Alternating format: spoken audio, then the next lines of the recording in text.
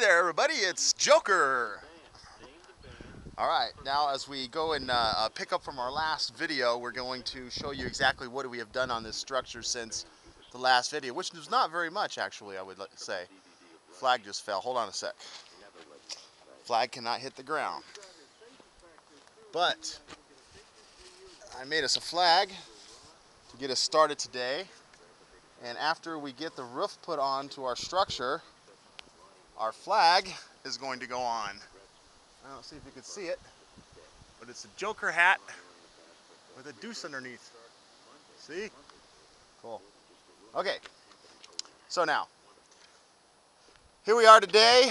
Uh, Victor is about ready to put on um, the gable roof that uh, he has uh, uh constructed. Um, you can see here, here's one of the end gables. As you can see, it looked like an anarchy symbol. Yes, see anarchy, yeah. Mm -hmm.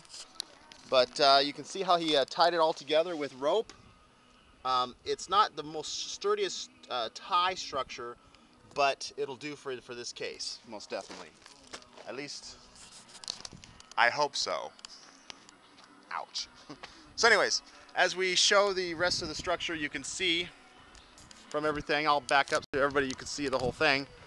But uh, as you can see here, the poles that were added, we already talked about the four poles, and then the, uh, the beams going across were added yesterday in the last video. This, this beam right here that goes from here to here was added today as well as this new pole that went into the ground today.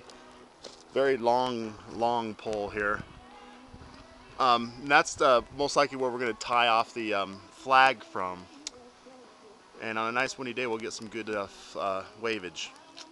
So anyways, as you can see here how he did some um, uh, on the corners and to give him bracing so when he gets ready to put up on his end gables that um, they'll uh, hold sound like, we hope.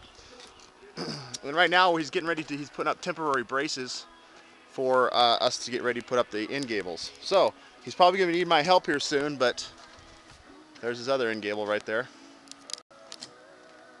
But maybe not. I'm sure he'll yell at me if he does.